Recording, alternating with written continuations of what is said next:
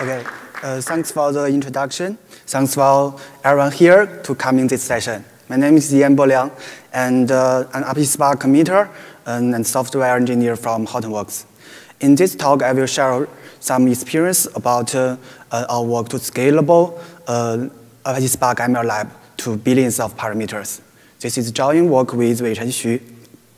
Okay, we will first uh, start with the background of this work, where we need to scale um, MLlib to billions of parameters. Then we discuss the major contribution of the work, a scalable LBFGS implementation on Spark. We call it uh, vector-free LBFGS or VLBFGS. Then a scalable logit regression implementation on the VLBFGS. Then we will talk about the performance test result, the number of the features in the test scales from 1 million to 1 billion. Then we will show how to increase our work and the package into the existing MLlib framework to provide a, a very simple API for users. At last, we will talk some about uh, the feature work. Okay, let's start with the background. Uh, the background is that um, more training data and uh, more big, better, uh, more bigger model will means better result in many of cases, such as uh, uh, advertisement CTR prediction. So we need the models with billions of, uh, billions of features. In this case, it's both the training data and the models are so big, and we can't fit them into a memory of a single machine. So we need the distributed machine. And uh, another trend is that the machine learning is very, very complex. However, just uh, like the picture show, only a tiny fraction of the whole machine learning system is actually doing machine learning. so it means that uh, uh, in the workflow, usually needs a lot of support from the surrounding infrastructure, such as the uh, data platform. We will uh, load data from all kinds of sources, and uh, we'll do we'll do feature pre uh, extraction, feature transform, and so on. And uh, Spark has been widely used as the data processing, and in some cases in machine learning. So uh, more and more machine learning users want uh, use, to use Spark to do feature uh, preparation to do machine learning. They also expect it to um, train a very, very big model. It means billions of scale, billions of features uh, to, on the Spark platform. So this is uh, why we start our work. Okay, uh, then how machine learning works on Spark platform. This is a very simple architecture about uh, the Spark MLlib uh, framework. MLlib is built on a Spark core and provides some optimization algorithms such as uh, weighted least square, uh, iterate, iterate, reweighted least square, and uh, the well-known LBFGS and SGD. And uh, among these optimization methods, LBFGS is one of the frequently used in practice. So uh, lots of the uh, machine learning algorithms, especially on Spark, we use LBF, as the solver. So if we, if we can make LBFGS scalable, it means that many algorithms will, better, will benefit from this improvement of the optimization layer. Then they can scale to billions of features. This is the direction of our work. Uh, we will make uh, the optimization layer can scale to billions of um, parameter, uh, billions of parameters. So uh, let's start, uh, let's, in the following, let's analyze the bottleneck of the current MLM framework to billions of features. It can help us to understand why we need the, why we need the new VLBFGS and why it's a scalable way. Okay, this is, uh, uh, we take the MLlib logistic regression as the example. This is the workflow of the MLlib, MLlib logistic regression. In each iteration, we start with broadcast coefficients to executors, uh, compute the loss and gradient in parallel in all executors, and reduce them to get the loss sum and gradient sum in driver. This is the architecture. Then at the uh, driver, we use LBFGS, which is the Breeze LBFGS to solve the optimization problems. as known as to find the next direction uh, using estimating the uh, inverse Hessian matrix. These steps can handle only be in a single machine. So if we uh, scale to billions of parameters, this can, can't handle. So this is uh, the current status of MLlib. And there are mainly two bottlenecks. Uh, the first bottleneck is the driver will collect, uh, in this step, the driver will collect the gradient sum is an array. So, and the size of the array is equal with the parameters, the number of parameters, by aggregating the partial gradient collected from all executors. The performance issue is the, the aggregation is uh, the aggregation time scales linearly as uh, with respect to the number of executors. It means if you have more uh, it will take more times to uh, finish the aggregation. Since in each node we have some uh, some bound and some limited resource, such as the CPU and uh, uh, I/O boundwise or, or, network boundwise. So this is a bottleneck of the current uh, framework. And in Spark 2.1, we have released, uh, we use a new uh, multi-level aggregation tree to accelerate this process. This means that in this step, we uh, gradient sum are combined partially on a small set of executors before they send to the driver. Um, this will dramatically reduce the load of the driver. It is the tree aggregation um, structure. And, and, we have done some tests to show that this function and this improvement can reduce the aggregation time by uh, an order of magnitude, especially on the data sets with a large number of uh, partitions. With this optimization, we can uh, train the logistic regression model on uh, several, uh, on tens of millions of features, tens of millions of features. So this is the first uh, bottleneck, and we and the Lisulax we have also resolved it. And uh, the second uh, bottleneck is is more critical, and um, this is uh, what we do to resolve it. And this is another bottleneck. It's after we collect uh, gradient sum from the executors, even in the tree aggregation structure, uh, we need to stop and uh, compute it in driver to find the next direction by, inverse, by estimating the inverse Hessian matrix. If we have billions of uh, features, the variable used by RBFGS cannot be held in a single machine. And even it can, can fit in a single machine, even the, the computer is very, uh, is, is very strong, has a lot of memories.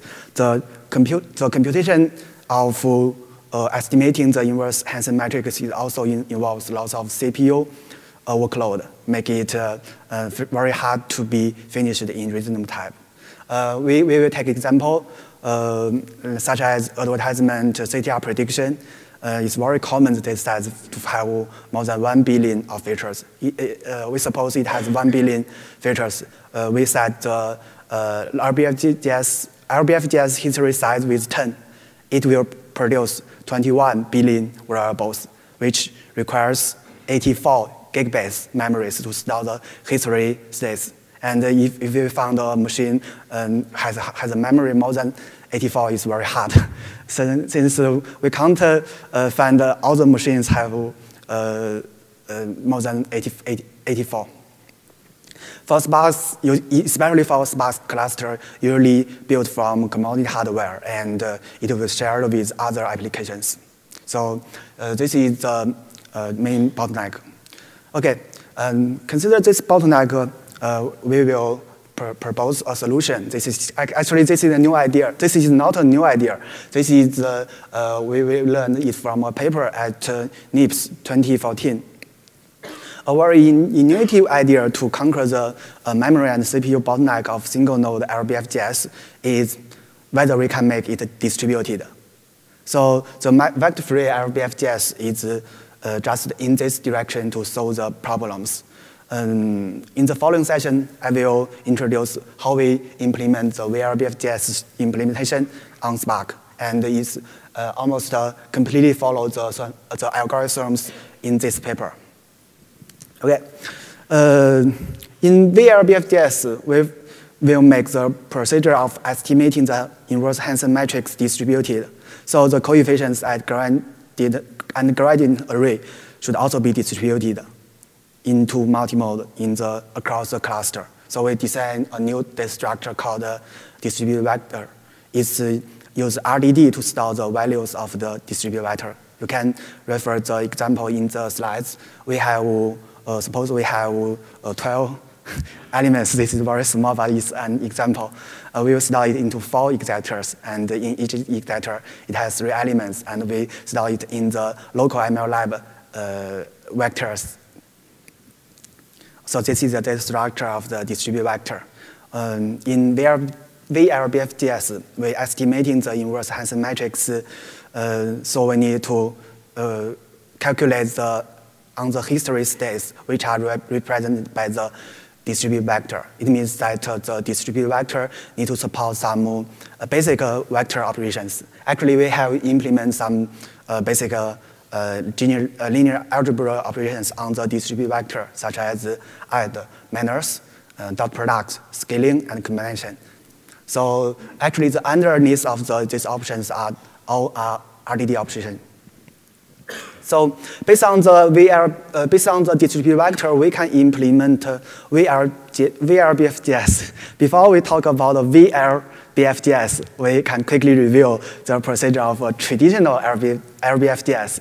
Since uh, we only changed uh, one part of the traditional uh, LBFGS, only changed uh, the two-loop recursion in the traditional LBFGS. So uh, this, uh, this slide shows the algorithm in LBFGS, we start with coefficients, suppose sk, and output a new position, sk plus 1, with a minus objective function. It means we will go around, uh, we will go into the direction of to make the function uh, more, uh, more smaller. The most important work of LBFGS is uh, algorithm 2 in the slides. We call it two-loop recursion. And in the following VLBFGS, we will replace this kind of code in a new uh, implementation. So uh, which, uh, just the algorithms, we will not get, get very detailed explain. If you have interest, we can talk uh, offline. Uh, uh, we, we should know the input of the two-loop recursion is the pre, pre, precision difference and the gradient difference. Both they are uh, vectors, and the dimension of the vector is the dimension of features. So uh, uh, denote the size of the history states with m. All of these uh, 2 by m vectors with the original gradient vector will be calculated a new direction to, in the single machine. So if the, um, if the number of features is very large, this can't, can't be done. Okay uh, let's, let's discuss, uh, discuss the space and test cost by uh, test cost for the uh, traditional LBFGS. And since we can say in the slides, the space and the time cost Uh, all related to the number of the features, uh, which we use D to represent. It means that uh, if the number of features is very large, we need the driver to handle a long, uh, to, to, to have a long memory to store it and to compute it. So and, and following, we will talk about VLBFGS. It only change the procedure of the two-loop recursion. And this is, we use algorithm 3 to replace the algorithm 2 in the last slides and the new two-loop recursion procedure. Um, we, we, we should highlight that uh, the input of the algorithm 3. It means that uh, we need to first compare the dot production between every position difference and the gradient difference. And in the original traditional LBFGS, we didn't compute it since we, we, we, we compute it in the two-loop recursion. Why we, why we should need uh, to uh, compute uh, the dot products before is because we can distribute the computation across the cluster since we now store the gradient and the uh, position difference in a distributed vector. So all of the operations are on the uh, executors rather than on the drivers. So the algorithms is defin definitionally will be efficient. And the, uh, we will not discuss the in-depth about the procedure of the new two-loop recursion, since I think most of our users will interested in how to use it rather than how to implement it. Uh, if you, you have interest, we can also talk offline. Um, what we should keep in mind is the new two-loop recursion in VRBFS is mathematically equivalent to the original traditional RBFS. So we can sure that it produces completely uh, very uh, exactly solution to the traditional RBFS. Okay, um, and uh, this is the new space and time cost for the VRBFDS. And we have, uh, we have distributed the uh, workload of the driver to the executors. Uh, you can say now the space and the time is not uh, relevant to the uh, dimensions of the features. It, it, usually the M, M is the state, uh, history size of the RBFDS is, is usually is very small. So this is very little workflow on the driver, and we can uh, distribute the workflow on the cluster. Okay, after we have the optimization framework, we can implement some classify, uh, classify machine learning algorithms based on the optimizer. Uh, logistic regression is the first choice. Uh, and actually, there are very promising and very, very, very, very, very, very many requirements of using logistic regression in the billions of features dataset. So we illustrate how to use uh, LBFGS, to implement logistic regression. Uh, this is the, the input format of the dataset, we keep the consistent format uh, of the input dataset compared with the existing MLlib. It's usually a data frame or RDD after some base, basic feature pre-processing. Each row of the RDD is a simple instance and which represent the features and the label. In the existing MLlib framework, we only split the RDD in the horizontal direction. However, in the VRBFDS, we will uh, uh, in the VRBFDS-based logistic regression, we will split the input RDD both in horizontal and in vertical direction. It's like this. And this is because the number of features in these scenarios is very large. It can't, uh, it, it, it's, it's very hard to fit it into a single memory. And since we, we do not to want to fit the features in a memory, we want to, say, to fit the gradient and the coefficients. They are not very sparse. After splitting, we get the new RDDs uh, as shown in the picture. So let's start with the, uh, the procedure of the logistic regression. At the start of each iteration, we have the current coefficients, which is the distributed vector. We can configure the partition number of the underneath RDD for a distributed vector to align the coefficients vector with the features RDD, like, um, like this. Uh, according to the logistic regression loss function and gradient function, we need to calculate the multiply, and the formula is here. Uh, for each instance, and then we get the loss value and the gradient value. So we, um, following, we need to know how to uh, compute the multiplier. We should stack all features values in horizontal direction to get a multiplier. After, after uh, apply the multiplier to uh, each instance to get a gradient learned from that instance. Then stack them together to get, uh, then stack them together in the vertical direction uh, to get the total gradient. This is the procedure of the logistic regression. So we, in the following, we will illustrate what did happen on VRBFDS step by step. First, we will broadcast the coefficients vector into the feature RDD position. The coefficients is a distributed vector. We only uh, broadcast the specific part to the corresponding feature partitions. So the new implementation, we will keep the same shuffle dataset compared with the existing logistic regression in MLlib. But uh, it reduces the CPU uh, workload and uh, a Cupid boundwidth for a single node. And after that, uh, we compute the multiplier in each partition, get the multiplier in each partition, um, uh, we should know is that the multiplier is only in that partition. We need to uh, stack all the multipliers in the horizon direction. So this is the, next step. And um, stack the together in horizontal direction to combine with the corresponding label partition and to compute the total multiplier for each instance. Then we'll get the multiplier for each instance since we usually have billions of instances, so the total multiplier for all instances is, should be also stored as a distributed vector. And the size of the vector equals to the number of instances in the training data set. Um, after that, we will broadcast the multiplier distributed vector into corresponding feature partitions in the horizontal direction to calculate the gradient from that uh, direction, uh, that partition.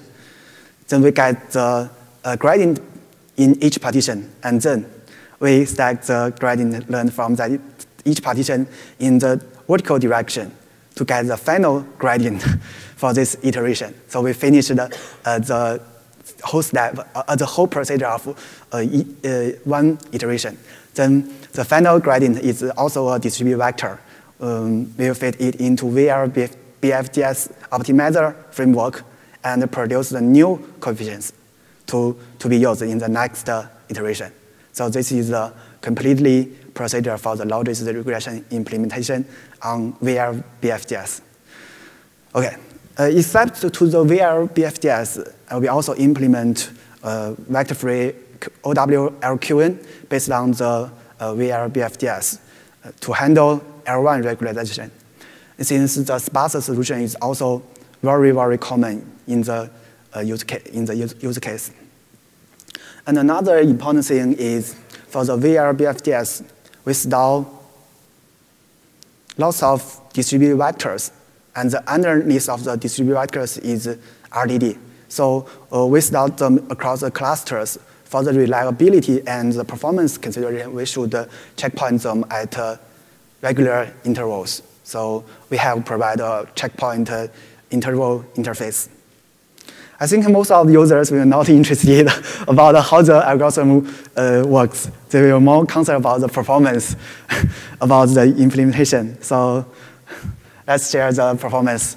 We have run our VRBFGS-based uh, logistic regression on this as in different scales. The number of features range from 1 million to 1 billion. And the number of non-zero features per instance is about 100, since all of them are almost very, very sparse. This is uh, usually the actual use case in, the, uh, in, a lot, in a lot of companies.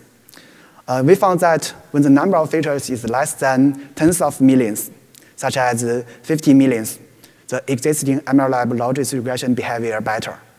However, when we increase the number of features to more than 50 millions, the existing MLlib logistic regression fails with an out of exception. But uh, we can, our VLB, VLBFGS-based logistic regression can run successfully. The threshold may, maybe depends on your uh, test environment. So, uh, but it actually it, uh, exists.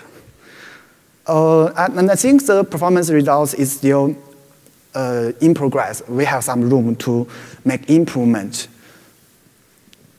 But at least it can successfully train model of billions of parameters, and is one of the solutions to handle very large-scale machine learning problems.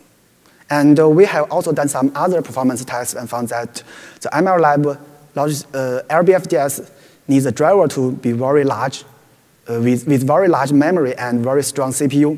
And the driver is also, its driver is also is very, uh, is usually the uh, bottleneck of the whole procedure.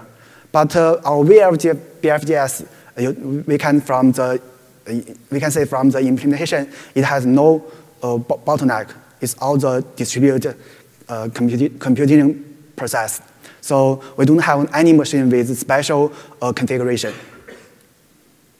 Okay, then we talk how to about use this impl implementation and how it integrates with the existing MLlib.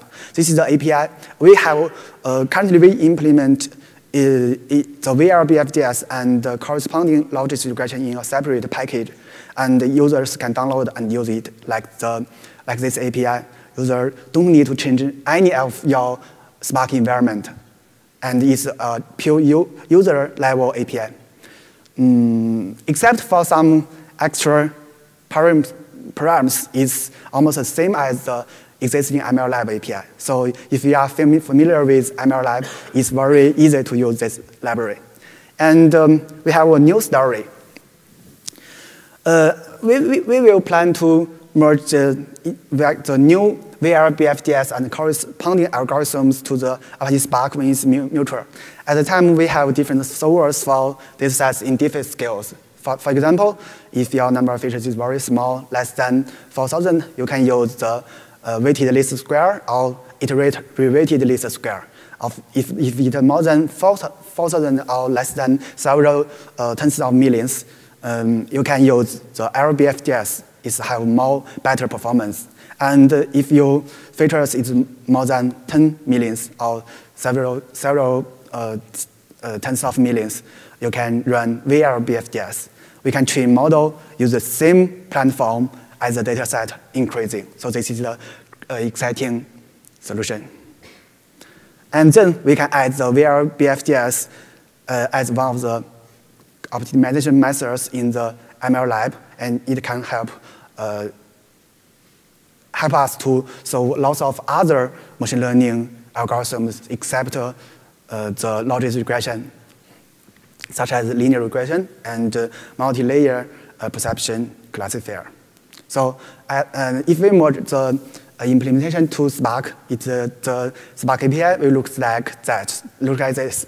We will have a new uh, actually it's new. Actually, we have now support different kind of servers. We have a new uh, candidate values, VLBFGS. And you, if you specify uh, this with the servers, it will train your model with the scalable VLBFGS implementation.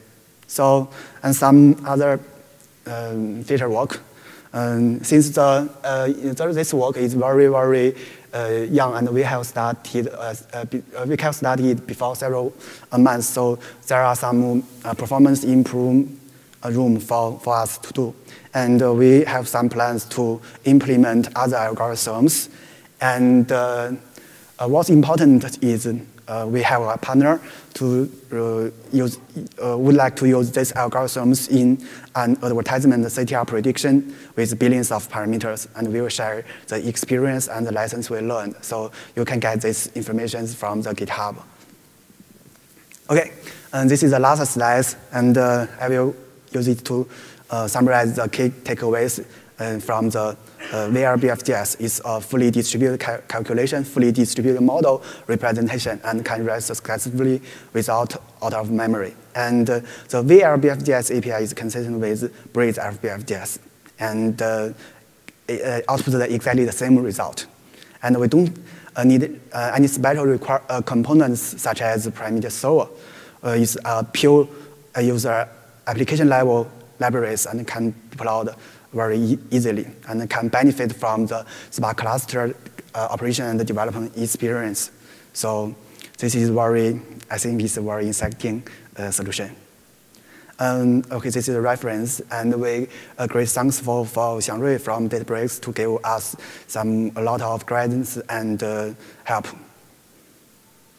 Okay, any question?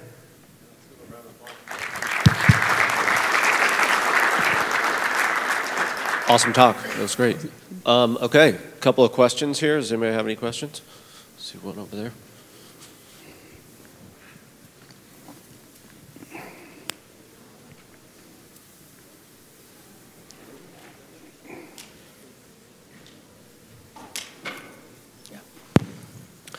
Uh, my question is, uh, uh, how, how do you handle the case of sparse data in, in the feature space?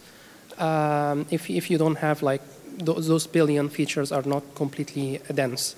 Uh, do you have special handling for that? Uh, the second question is, um, how will you scale with uh, like the number of classes? I know that this work is probably assuming like a binary classifier, but what if you have a multi-class classifier?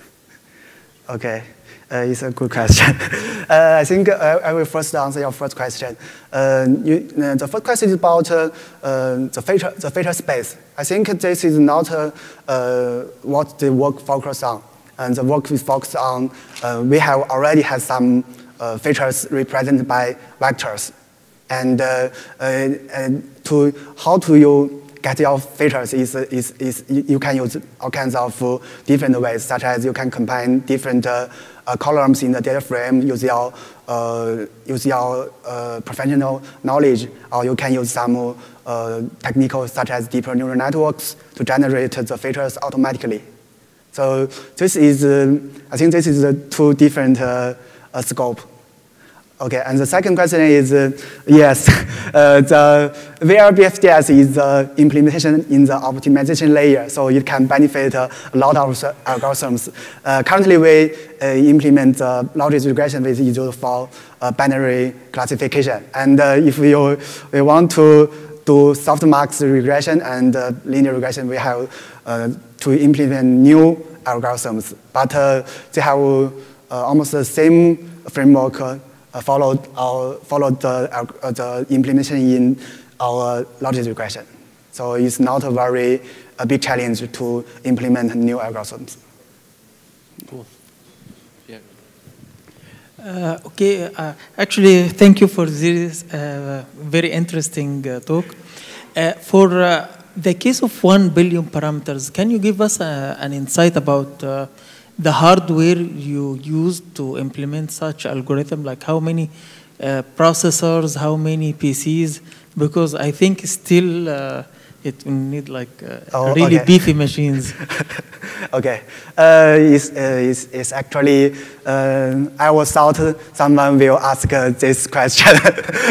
Since the text performance is very, is very critical and we just finished it, so we didn't give some very detailed information. I, I can, uh, uh, I can give you a brief introduction. We have used uh, a lot of machines, and the machine is about 64 gigabit memory, uh, 64 CPU cores and uh, 128 gig, gigabyte, gig, gigabyte uh, memory.